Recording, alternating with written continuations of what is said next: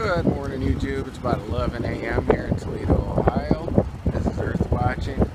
I just saw these clouds out here, and I thought they warranted a nice little video shot. How perfectly rippled they are. That's not hard for the new 5G kicking in. Um, just remember, you want to find out anything about this, just type in uh, Richie from Boston did uh, Do Not Consent. It's just taken off. Go ahead and just type that in. You'll see thousands of videos of everything around the world of what they're doing to our skies. Look at this mess.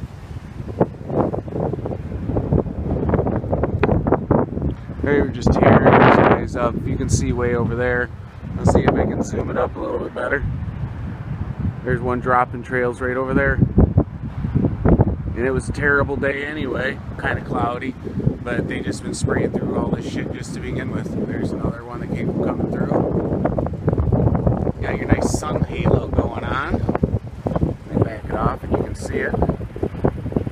Nice halo around your sun from the chemicals. Breathing that in, it's washing into our water, getting into our food. Every aspect of our lives. It's giving our kids autism, giving our old folks dementia, Alzheimer's. You know, high rates of aluminum in the bloodstream is, you know, high concentrations have been shown to cause that problem. And now it's just all of a sudden it's they've been spraying more and more and more and the statistics are showing it's increasing, increasing, and increasing. You know, you put two and two together, there's your answer. I don't care what they say. You know, I'm 43 years old, I don't remember this when I was a kid. I grew up out in the country. We stared up into the sky for hours, just as little kids laying out by my friend's pond. It just was crazy. Yesterday it was 60 degrees.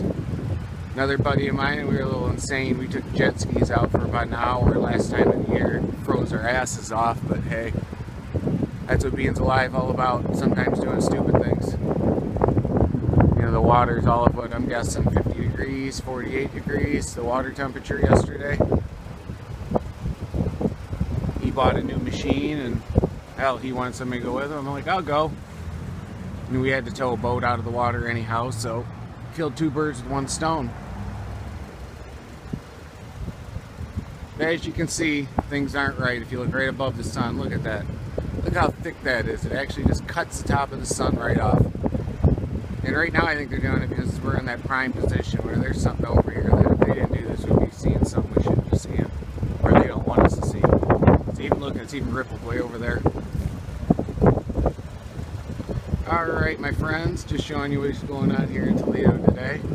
I'm going in a gas line so I can pipe this uh, heater into my garage so I can work out there this winter. Just bought that house, no heat out there. Well, the furnace in it, I tried lighting yesterday and about took my friend's head off as it loaded up and backfired. The poof! Blew all sorts of shit out of it. I don't trust it, so I just went and got another one and I'm going to hook it up today. Alright, y'all have a good afternoon. Be prepared, be safe, and God bless.